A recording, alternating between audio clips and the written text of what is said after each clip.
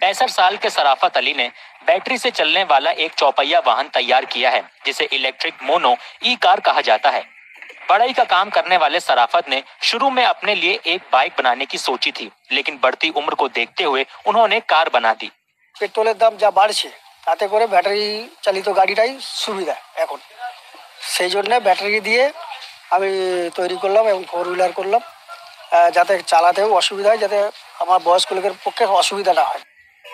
ई car बनाने में सराफत अली को पाँच महीने का वक्त लगा और सत्तर हजार रुपए की लागत के साथ साथ बहुत मेहनत भी लगी মেটেরিয়ালস ব্যবহার হয়েছে যেমন স্টিয়ারিং হয়েছে আপনার আহ, টাটা ন্যানো স্টিয়ারিং বক্স হয়েছে মাহিন্দ্রা আহ, ভ্যানের তারপরে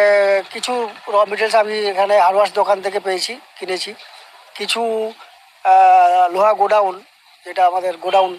সেই গোডাউন থেকে কিছু পুরনো লোহা আমি কিনেছি টোটোর কিছু পার্টস ব্যবহার করেছি আর আহ, এই সমস্ত নিয়ে করেছি আর কিছু জিনিস তো নিজেকে তৈরি করতে হয়েছে আর ইলেকট্রিক ওয়ারিং এই আমার গাড়ির মাপে ওয়ারিং তো পাওয়া যায় না এর ওয়ারিংটা পুরো নিজে তৈরি করেছি তার দিয়ে